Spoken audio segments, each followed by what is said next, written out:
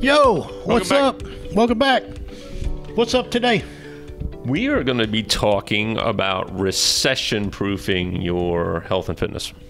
Obviously, right now, uh, everything costs more money, and Yeah. Um, it can, if it's not done properly, I mean, obviously, this is a time where people look into their budgets and go, what do I have available and what can I cut? oh, dude, I'm breaking personal records, whether it's Oh, gas is to, to ridiculous. fill the tank. yeah, grocery store. Oh, It's it's it's across the board, right? three kids at home, man, and they're eaters. Right. All three. Well, diet. Right. right. Right. Tell my So kid you could topic. fast. That's a good topic right now because yeah, I think it's really affecting Yeah, everybody. everybody. Yeah, yeah. So there's there's just a ton of stuff, right? I mean, um, I guess it's it goes back to priorities, and you know, for me, it's what's more important. What what in my budget can I cut that I don't have to cut the things that are going to keep me healthy. Um, the first thing that came to mind for me was eating out, right? And the average American spends three thousand dollars a year eating out. And I would probably guess that that's low.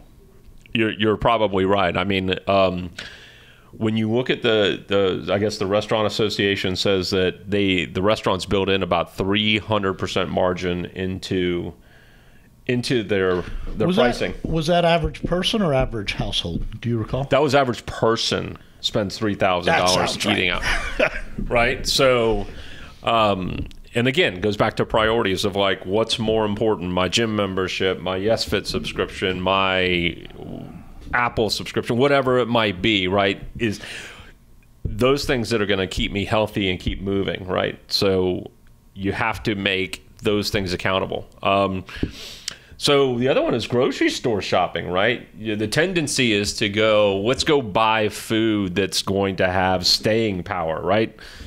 Things that don't go bad, and that's actually counterintuitive to your health, right? So you want to go, uh, you want to buy the perishables, you want to buy the things that are going to spoil. You just probably got to have a little more smart planning.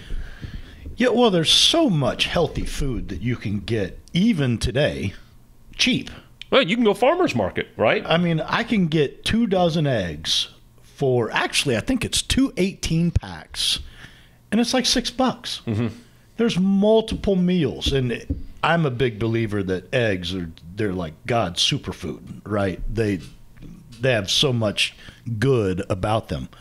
But even like snacking, you can you can peanuts. So, you know, um, I buy I think it's a two pound bag. It's a two pound bag of pecans that I get from Sam's, mm-hmm. and I think it's thirteen bucks for the bag, and I smoke them, right? And it not that kind, um, but it it basically fills a one gallon Ziploc, and it's like my go to snack for the whole week for thirteen dollars. Right. So there are healthy options that Better than Hershey's Kisses and granola bars. Oh, yeah, right. I mean, or, or I'll take it one step further, and even the healthy crap like ketone bars and Right.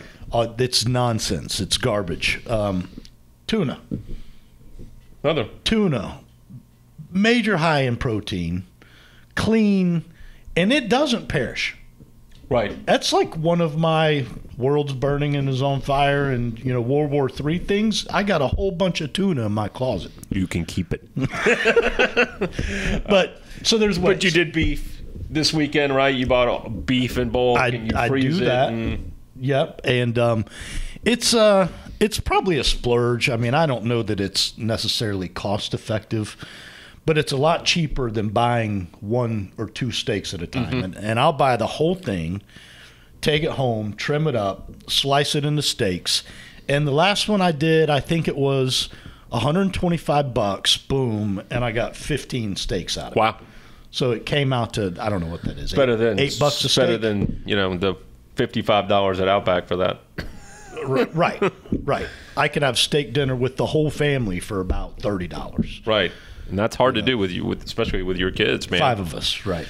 Um, so yeah, I mean, a lot of pre-planning can go into buying the foods, and that can save you money. Um, also, looking at your subscriptions, obviously your gaming, your Netflix, meal kits. I mean, meal kits. I mean the the meal delivery services, right? That, and I'm not just talking about Instacart. I'm talking about like the ones that send you the pre-prepped meal plans. I mean when you have to look at your budget, I mean, that is one thing that you can look at and go, I just do it myself. One, I'm not going to say names because I don't want to throw any of our team members under the bus, but we have a team member and she alternates. She's picked her two favorite. I don't know what they are, but she will sign up under their special get one month free, right? And then she'll cancel it. And she keeps all the recipe cards. Ah, And she eats on those recipe cards until she's kind of tired of that. And then she goes over to Meal Prep Company B does and it? signs up on there, get a free month. And she rotates back and forth, saves up all of these crazy recipe cards that tell her exactly what to buy and exactly what to do. Um, so, yeah. You probably know who I'm Yeah, I know who about. you're talking about. um, you know, I guess I guess the the moral of this story is, you know, this is the great reset, right? And this is a great opportunity for you to look at your budget and go, I'm going to take out the things that aren't really healthy, right? I mean, the Netflix, if if it's if I'm going to sit around and do that stuff, go for a walk instead, right? Go for a run instead. Do body weight exercises. Um, you know, you can cut back on your newest and greatest wearable devices and tech. I mean, what's what's changed in the Apple Watch in 4 years? I will share one other thing with you. It's coincidental that you came to me with this because I've been thinking about switching up what I've been doing lately. And I found a sledgehammer workout routine, and I'm totally intrigued by it. Right? It coincides with I had to bust up some stuff at home, and I got the old sledgehammer out, and it, I was gassed. It was wearing me out. Right? But this is a like a whole routine you don't need anything. You go in your backyard with a sledgehammer Right. and get worn out. You know.